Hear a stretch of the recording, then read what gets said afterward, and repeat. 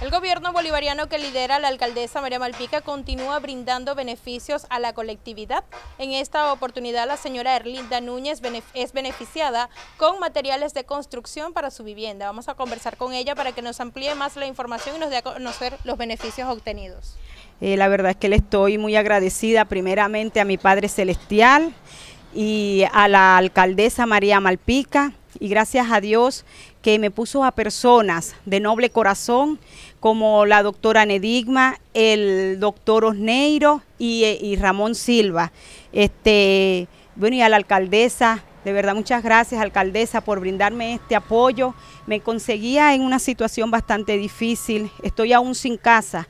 Este, me mandaron a desocupar en donde estaba, prácticamente en la calle. Y pues este, gracias a mi Padre Celestial y a la alcaldesa, agradeciéndole mucho este, esta colaboración de los 10, 10 láminas, este, unos tubos y en la espera de unos cables. Gracias, alcaldesa.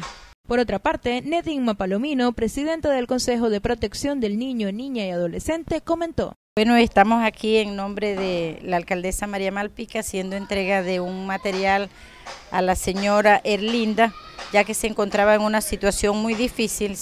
ella está haciendo una vivienda de lata hasta que podamos llegar con una vivienda digna para beneficiar este hogar. Aquí hubo una gran vinculación con el Consejo Comunal de, Juan de Dios Briñe, las personas donde ella vivía, Ramón Silva, el doctor Oneiro, o sea, entre todos se, se logró conseguirle las láminas y la alcaldesa nos está donando el techo de, de la vivienda que va a tener por el momento mientras que hacemos este, las diligencias para una vivienda digna, ya que tiene tres, tiene cuatro hijos, pero tiene tres menores de edad, es una madre soltera.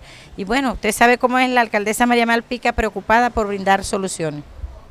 Más de 42 mil bolívares fueron invertidos en el material de construcción. En esta oportunidad se hace la entrega de la caja de gancho a la señora eh, Linda Núñez, quien próximamente estará terminando su vivienda en el sector eh, Doña Petra Briñez. Para el Sistema Colonés de Medios Públicos, Nericar Carrillo.